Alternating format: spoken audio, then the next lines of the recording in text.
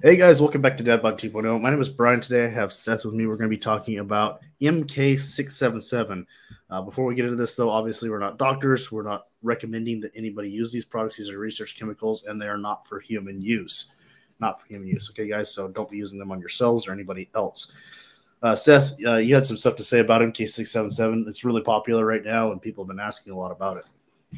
Yeah, so um, MK, it comes in all different types of forms um, most popular forms are like um, what the capsules, liquid. They also have injectable, which very companies don't really produce. Um, and Brian, I guess we'll pull up uh, a source here that does carry the injectables. If you guys are interested, um, you can check them out at AmericanSarms.com, which is a new source out now.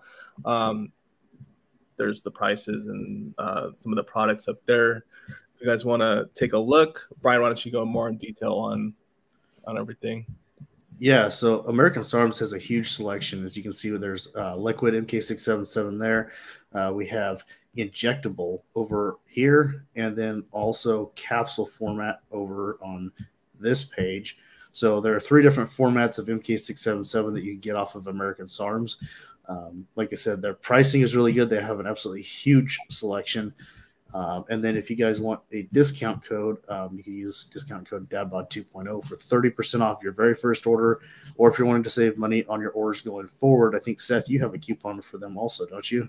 Yeah, I'll, I'll actually list that in the description so you guys can go check it out yourself. Um, once this video is done, I will post it on all the platforms um, so you guys could, you know, get MK677 at your own purchase. Um, so, anyways, if you guys have any topics relating MK677 that you want us to go over in the future, uh, please let us know in the comment section. Uh, we'll be happy to answer any of your guys' questions.